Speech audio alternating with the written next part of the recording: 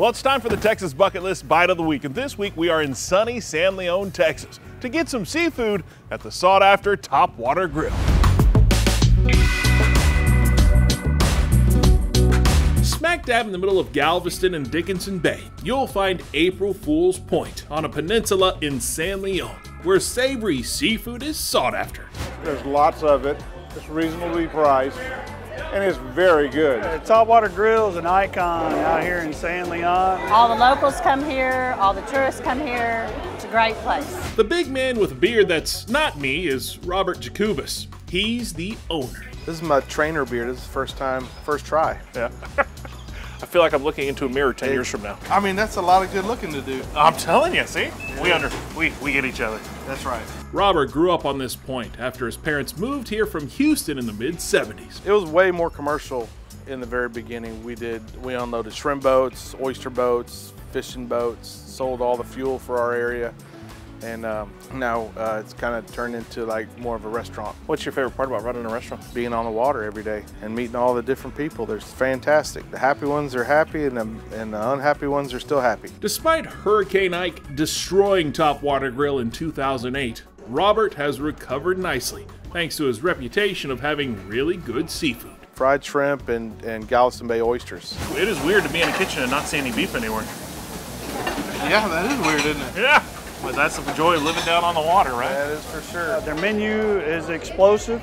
Fresh seafood right from the Gulf. One of Topwater's most popular dishes? How about fried shrimp? You are correct. And they go through tons of shrimp each and every month. Close to 900 pounds of shrimp every week. Wow. That's a, a lot, of shrimp. shrimp. Jake, me a Coke. it's a lot of shrimp. I was up for a little smorgasbord of seafood, so Robert rallied some really good recipes, including oysters Diablo, pan-seared oysters, and royal red shrimp. On to the crustacean casino. This kitchen is like a highway. It is. There's an on-ramp and off-ramp. Our first stop on this seafood superhighway is the Flat Top for some pan-seared oysters. So that's your big pan? That is a big pan. Yeah, for a pan-seared oyster. You got a small 9-inch, 12-inch pan, and that's a 60-inch, 5-foot pan. A 60-inch pan. It gets the job done. How do you like flip things on the I guess you just need a spatula. It's, yeah, spatula works pretty good.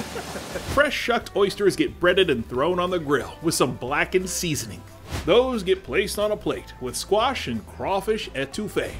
Our next exit, the oyster station. Man, I love this. Every station we get to eat something. Exactly. Here's our whole oyster station. Okay. It's simple. Anybody can do this at home. Yeah. You just put the stuff out and have it ready. Look at these oysters. Oh, those are good sized oysters. Each oyster is covered in hot sauce, sauteed jalapeno and garlic, bacon, mozzarella cheese, Parmesan cheese, and placed in the oven. And last but not least, I hear you have some unique shrimp. We do. Uh, we found these on a vacation in Key West, Florida. Okay. One of our favorite restaurants down there. And the nice guy told us what they were. They were royal red shrimp. Royal red. They catch them in two places in the world.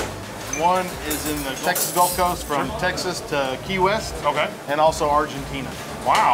So we get them for both places. Both, and these are just deeper in the water. So deep, they're almost a mile deep underwater. Really? And they were unheard of. Now you can find them almost everywhere. They taste like a cross between Alaskan king crab and lobster. Wow. In the shape of a shrimp. They're sweet and they're succulent. They're fantastic. And they're also huge. Those are simply prepared with seasoning. Here's our secret recipe that, that we don't tell anybody. It has royal red shrimp and uh, Old Bay seasoning. And steam. Well, we're gonna go sit at our table and see what we reel in. Okay. Even though we kind of know what we're reeling in. You'll, I think you have some good luck today. Awesome. Thank you so For much. Sure. Thank you very Appreciate much. It. You bet. I guess uh, you start off any good meal. We'll go with the oysters first. This oysters Diablo covered in those jalapenos and garlic. You gotta throw a little bit of lime on there, and we'll just dig it out of that shell. Ooh, it's still hot, hot, hot. Cheese just melted all over that oyster. I'm excited to try that jalapeno garlic mix. That looks amazing. Down the hatch, and it's divine. Mmm. Wow. Well, aren't those good? Very spicy. Two of my favorite things, jalapeno and garlic. That's amazing. You combine that with those cheeses and that fresh oyster, and top of all that, that there's that jalapeno. Wow. That's too hot for me. I'm not a spicy taste. I'm not a spicy guy. Some sensational flavors on those oysters Diablo. The incredible robust garlic topped with spicy jalapeno. That is amazing. I would definitely say the oysters brought me out of my shell. Speaking of shells, let's crack open some of these royal red shrimp. Look at that beautiful color on that shrimp. Oh, an Old Bay seasoning. The texture on those shrimp are ridiculous. It really is like a lobster. I don't know where they get those, but I'd like to know so I can get them myself.